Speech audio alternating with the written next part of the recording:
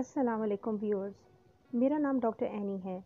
Welcome to my channel आज हम बात करेंगे एक बहुत ही ज़्यादा पूछे जाने वाले सवाल के मुतालिक.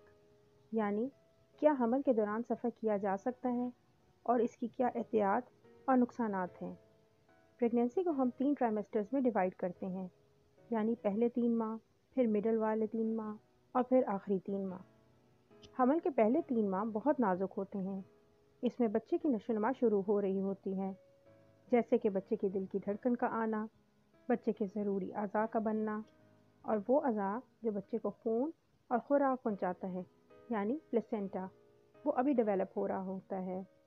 इस स्टेज पर बच्चा अभी यूट्रस में अपनी जड़ें मज़बूत कर रहा होता है। तो पहले तीन महीनों में हम पेशेंट को लॉन्ग ट्रैवल ट्रेन या एयर ट्रैवल एडवाइस नहीं करते। इसकी वजह यह है कि अगर आपका सफ़र लंबा है तो चूँकि स्टेज पर प्रेगनेंसी इतनी मज़बूत नहीं होती, इसलिए कोई झटका लगने की वजह से यूट्रस की अंदरूनी लाइनिंग जिसे हम एंडोमेट्रियम कहते हैं, वो डिस्ट्रप्ट हो सकती है, यानी उखड़ सकती है, जिसकी वजह से ब्लीडिंग होने के चांसेस ज़्यादा हो सकते हैं।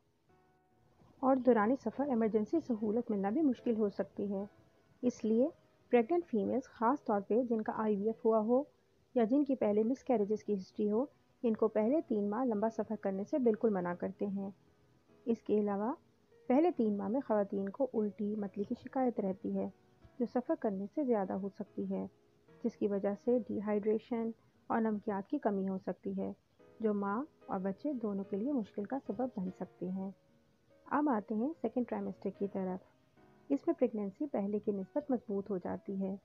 प्लेसेंटा भी काफ़ी हद तक बन चुका होता है। और फीमेल की तबीयत भी काफ़ी बेहतर रहती है। तो इन तीन माह में हम लो रिस्क पेशेंट्स यानी जिनके पहले मिस कैरेजेस की प्री टर्म डिलीवरी की हिस्ट्री ना हो, या जिन पेशेंट्स का आई यू आई या I F I V F ना हुआ हो, इनको हम ट्रैवलिंग की इजाज़त देते हैं। लेकिन मरीज़ को हिदायत करते हैं कि वो बाहर के खाने को जितना मुमकिन हो सके अवॉइड करें और उल्टी मतली पेट के दर्द वगैरह के लिए एमरजेंसी दवाइयाँ साथ रखने के बारे में अच्छी तरह समझाया जाता है। अब आते हैं आखिरी टाइमेस्टर यानी सातवें, आठवें और नबे माह में ट्रैवलिंग की तरफ़, जिसके बारे में बहुत ज़्यादा पूछा जाता है।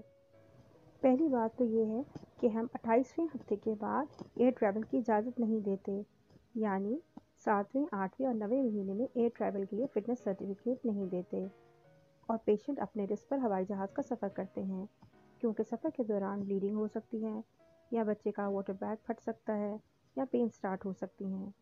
तो इस वक्त इमरजेंसी को हैंडल करना बहुत मुश्किल हो जाता है। इसलिए हम आखिरी तीन माह में एयर ट्रैवल की इजाज़त नहीं देते। लेकिन अगर आपने लोकल ट्रैवल करना है, यानी बस या ट्रेन के ज़रिए, और आपका आखिरी महीनों में सफ़र करना बहुत ज़रूरी है, इसमें हम मशवरा देते हैं कि सातवें और आठवें महीने में सफ़र कर लें, लेकिन नवे महीने में बिल्कुल सफ़र ना करें, क्योंकि झटकों की वजह से किसी वक्त भी पेन स्टार्ट हो सकती हैं। वाटर बैग लीक हो सकता है या ब्लीडिंग हो सकती है। तो बेहतर है कि अगर सफ़र करना बहुत ज़्यादा ज़रूरी है तो आठवें या सातवें महीने में कर लें। नाइन्थ मंथ में बिल्कुल सफ़र ना करें। उम्मीद है आपको मेरी आज की वीडियो फ़ायदेमंद लगी होगी। अगर आपको वीडियो पसंद आई है तो इसको लाइक करें, मेरे चैनल को सब्सक्राइब करें और कमेंट सेक्शन में अपने राय का इजहार ज़रूर कीजिए। शुक्रिया, अल्लाह हाफिज़।